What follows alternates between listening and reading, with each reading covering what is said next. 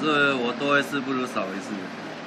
我跟你说，我是公民记者，嗯，好奇宝宝。难怪。可以上网找，他那个都有新闻。我反正反正我不是无地放矢，通常我这样讲，人家一定都会质疑我。那我又告诉他，我之前又有在里头待过一年多，他的宏达店就在生产这些这一盒手机零件的。我说话都有根据，我不乱说。我讨厌他也是有原因。嗯。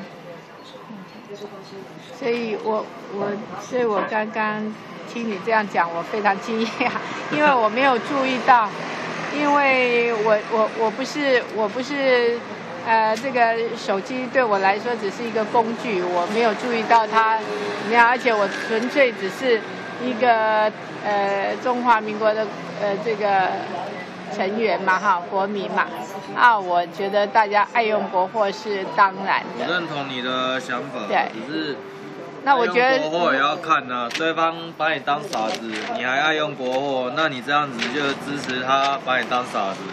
花钱可以，买国货可以，可是不要当傻瓜，当傻瓜就没意义了，对吧？那这个呃，HTC 是宏达电嘛？宏达电是王雪红嘛？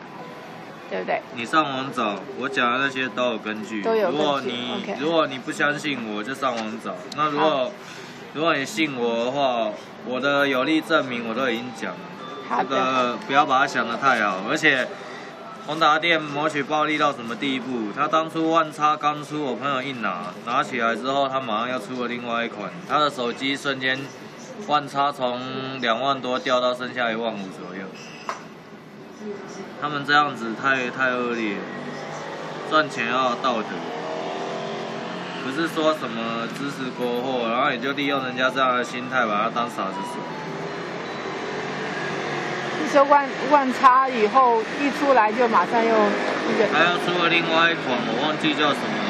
然后反正就万差是瞬间跌了三四千，我朋友买了很赶，不到一个月。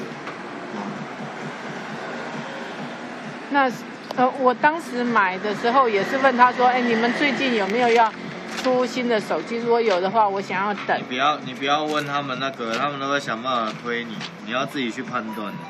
要买东西你要自己找讯息，不要只单方面听人家推销。那推销的人要业绩，他已经设法会推销你买，除非他把你当潜力客户来培养，那又是两码子事。对呀。那天我看完了，都让我放弃了，不好意思啊，大哥。，OK，好，我是绿岛大哥。谢谢。我不做大哥好。